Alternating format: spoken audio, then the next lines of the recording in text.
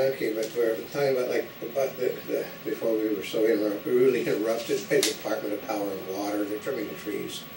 But, um, uh, about the stunt, having to go to gladiator school to actually learn. Actually, we can guarantee you that there was a member from the show, a cast member sitting right behind us. I mean, this guy is about like this and had He arms like tree trunks, so. And, and he walked in like he owns the place, so.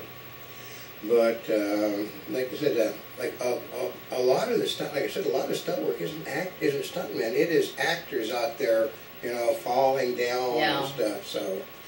And, um, They did ask if they shot it in real time. Yeah, well, yeah, I think they were shooting it real time, but the problem, when they were using the, the camera, the Phantom HD with the hard drive, in order to make it look like they can give you that slow motion stuff, because, you know, uh, you know, like, they like, when a guy dodging the bullet or dodging the, you know, the, when the sword sword. is coming back, he has to be able to move.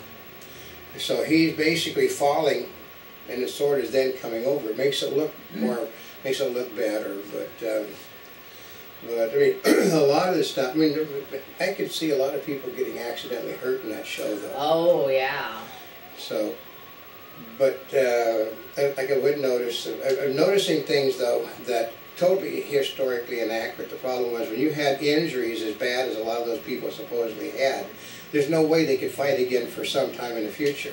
When you're cut clean across here and you're sewed up, sewed up, and your face has got a big gash and you're sewed up, you can't fight again because any movement you make tears everything apart. Mhm. So, really historically inaccurate too. So, but um, you know, it, it was an interesting thing in there. But um, Oh, one of the things they discovered, which I didn't, I didn't know this, um, because when you go to other countries, everybody has different rules, right? And so over in New Zealand, I got a ten-hour-a-day rule.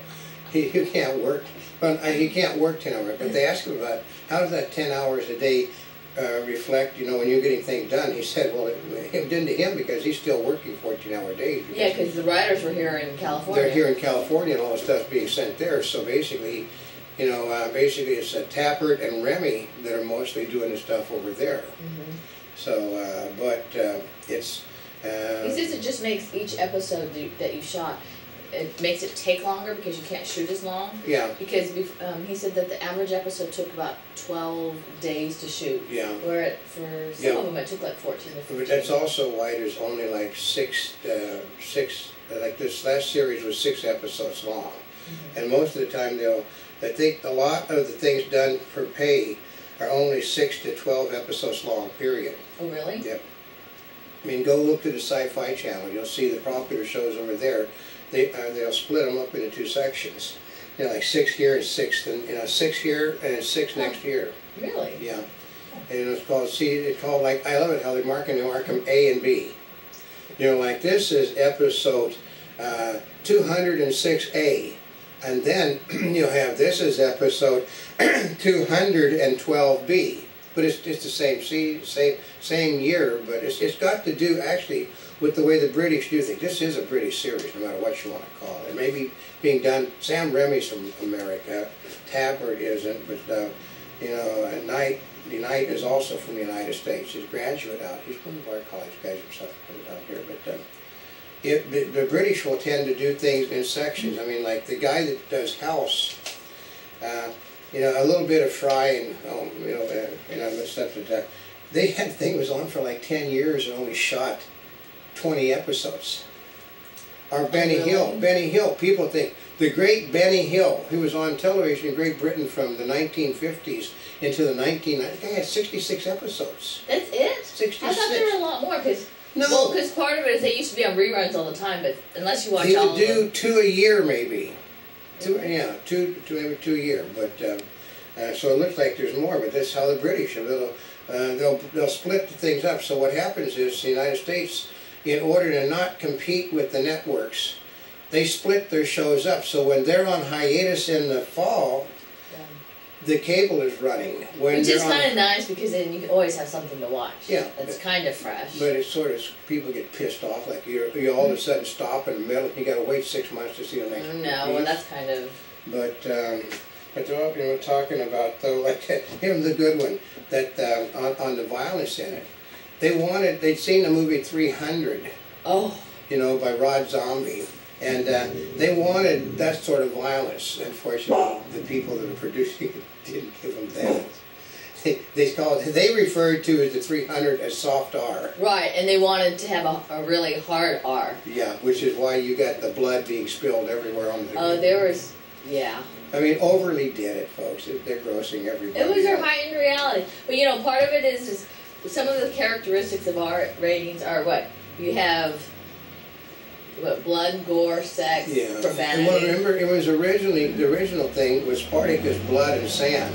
Oh, was it really? Yeah. yeah. So, uh, and the whole thing is like they're talking about um, the problem with Spartacus. There's only like about 30 seconds of Spartacus until you get to Spartacus fleeing. Oh, The, really? the Spartacus life, as far as history is concerned, didn't really start until after he led the slave revolt.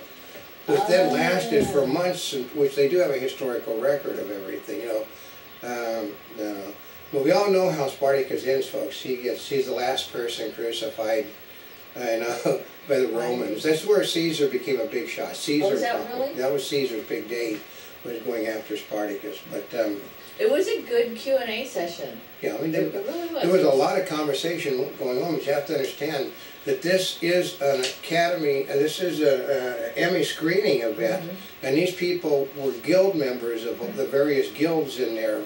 And Which is why their questions were like they were. yeah, they were all professional questions. We had a gentleman sitting next to us that didn't ask, but he was there, I- I'm assuming, with the music from the show. Well, yeah, because he had a whole book full of just. But the music, and I think, so he was, you know, representing that side. We had people representing the production side, representing the writing side, which is what this is, I'm assuming that because the writer is there, I mean, tonight we're going to go see a production called Cinema Verite that's got Diane Lane.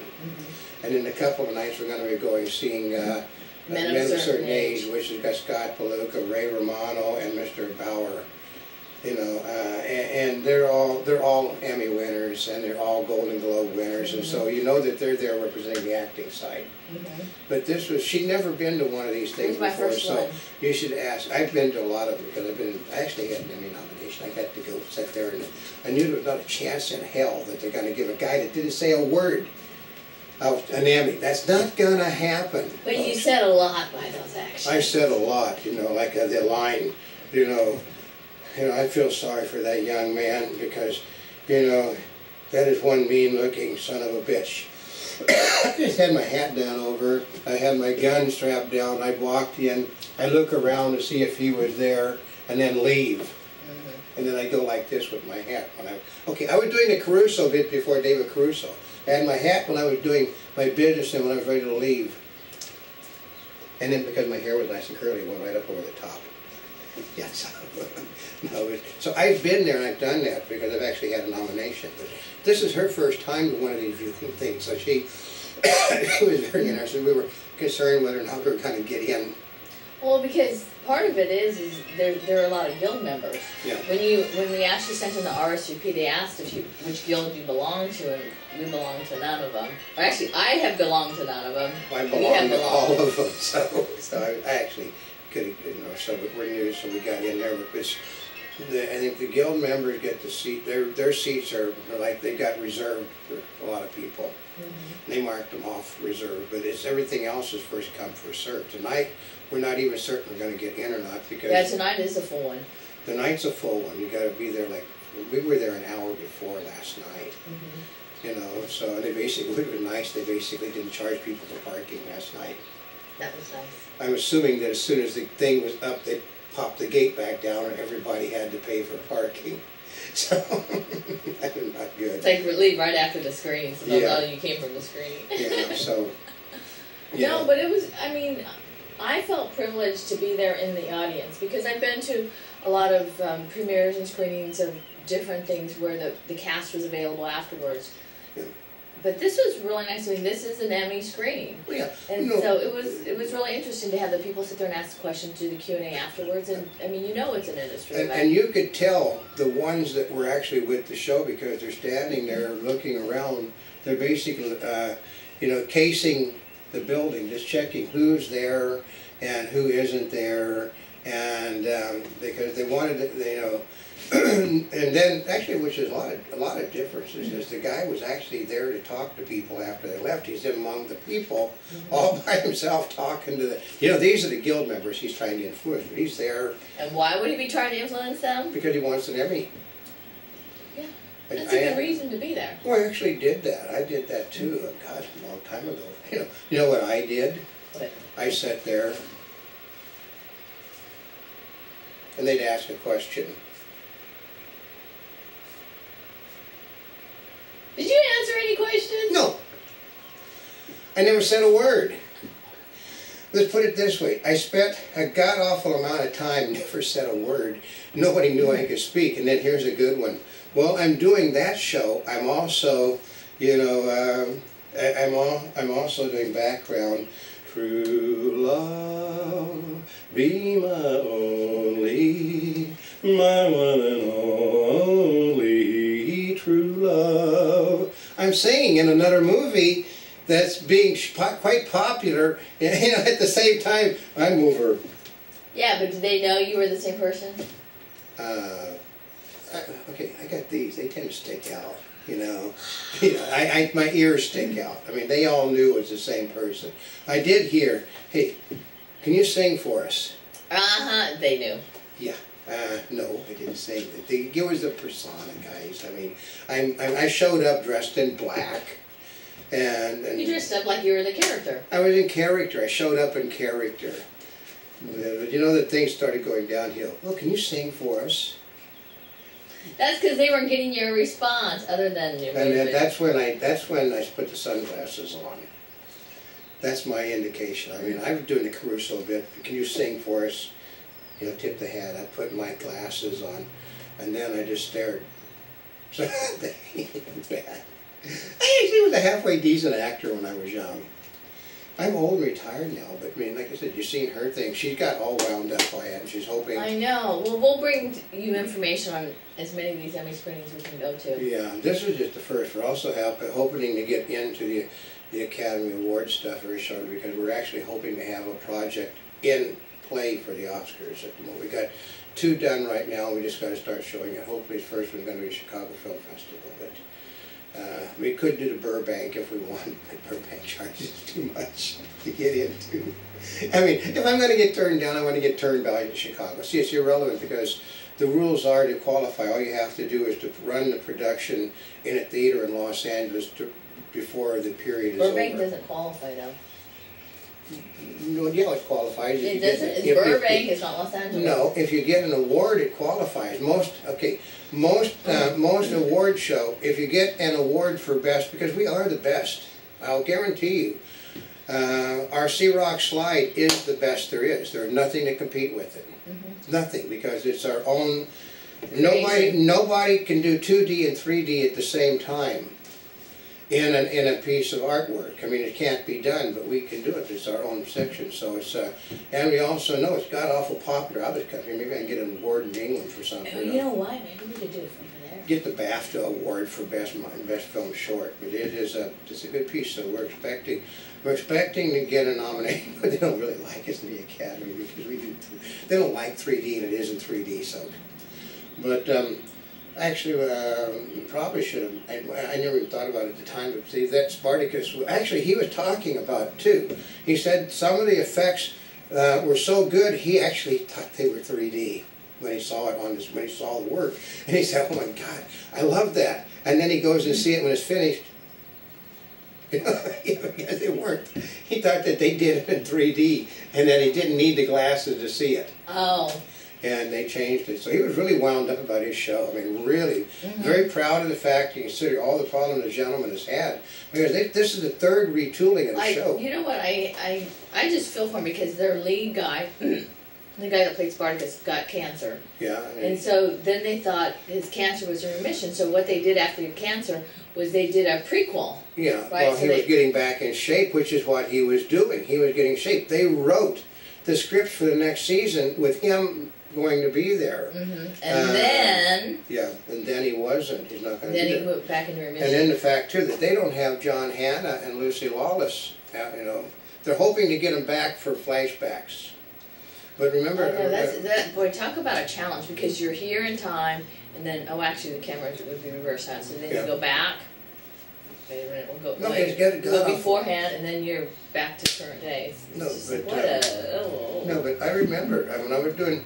Uh, okay, one of the people, um, the guy that played Little John in um, in in combat, he, my father knew him from back. Mean, they actually they went to high school together out here, and. Um, the, so I got I was doing combat. I do it sporadically because they needed tall. You know, actually by she knows by Hollywood standards, I'm god awful tall.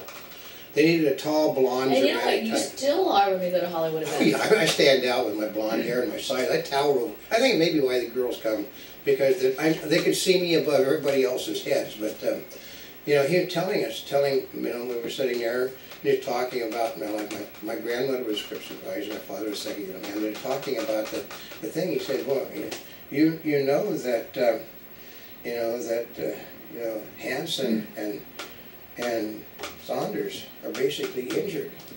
they're not gonna be there for a couple of weeks. And, uh, the guy that played Cage, they said Bob Hogan, who was, uh, you know, played the BAR man, and him said, we're gonna have to carry the show for a few weeks. And, uh, the scripts aren't designed for that, folks. Mhm. So what happens is, um, they're sitting there rejiggering things on the fly because of something like that happening. And I sat there, and I mean, he said, I don't want to be a star. you know, he's a big, big lumbering guy, and then you know Bob Hogan's a BAR man, and a guy that played Cage. What the hell do we become actors for? You know, because they were happy being the characters they were playing. They were, they, were- they, they knew that they weren't getting killed off. Which a lot of, if you were on combat and you remember the mm-hmm. squad, two or three people. I mean, we're talking. Shelley Berman was a member of the squad. The, you know, the guy, the comic. Uh, that's a lot of big actors were members of the squad. They get killed off every season because he had to kill somebody, but they were happy. We had a gig, and they said, you know, I, I, I, you know, the guy, Dave Littlejohn, said to my father, he said, they may notice that I'm there to kill me.